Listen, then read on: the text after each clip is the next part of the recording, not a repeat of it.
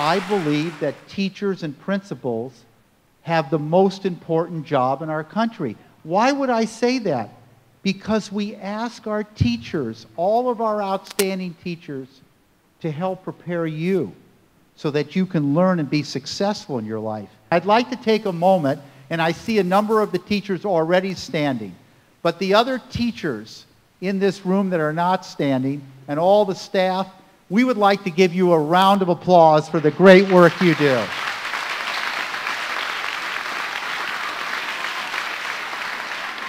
We need to tell our talented teachers that you're doing outstanding work and that you deserve to be recognized and rewarded.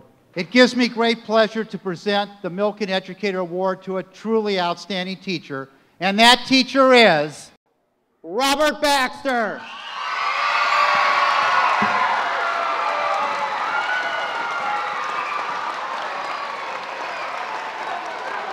Congratulations, Bob. The students know all the time I tell them, I said, I don't have to be here. I got plenty of other things I can do. It's my choice. And so every time I come through the door, it's because I want to be here. I want to, to pursue science and math because, see, I told you that's where the money is, science and math. and I want to thank my students because you're the reason why I'm here, period. Um, I can't say anymore future for these young people is how they're going to compare to other students around the world.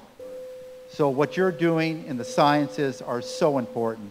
So Robert, once again, congratulations to you, congratulations to your family.